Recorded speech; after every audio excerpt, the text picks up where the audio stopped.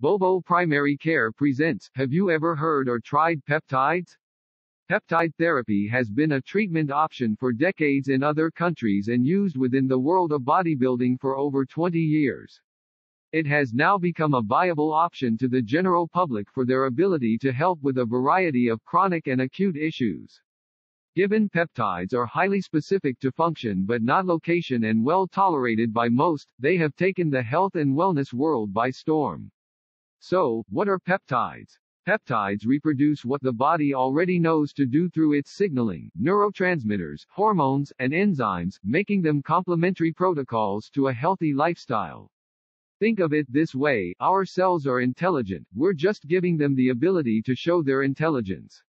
Simply put, peptides are a string of amino acids, which can then bind together to form a protein. A well-known peptide in fitness and longevity is, of course, growth hormone, which is actually quite large and consists of 191 amino acids. The peptides we work with are usually 50 amino acids or smaller. Reasons for weight gain Interested in how and why you gain weight or store fat.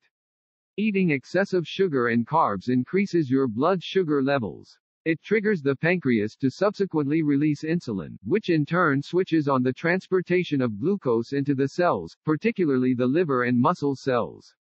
Your body keeps storing excess sugar as fat, and if your diet is carbohydrate dominant, it becomes difficult for the body to burn fat and more likely to hang on to it. Another potential reason for weight gain is the progressive decline of growth hormone by 15% for every decade of adult life. The growth hormone correlates with healthy metabolism, lower levels of fat accumulation, heart health, exercise capacity, maintenance of muscle, as well as cognitive function. The decline of growth hormone results in reduced production of insulin-like growth factor, which typically modulate our fat, protein, and glucose metabolism.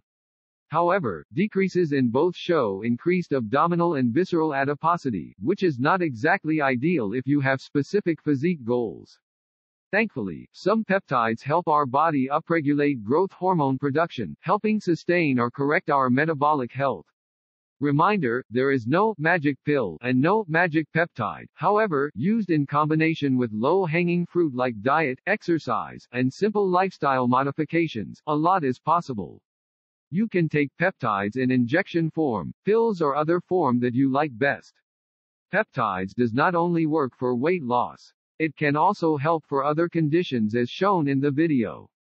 Contact Bobo Primary Care PC.ga if you want to start taking peptides. I provide care in Arizona, Colorado, Nevada, and Washington.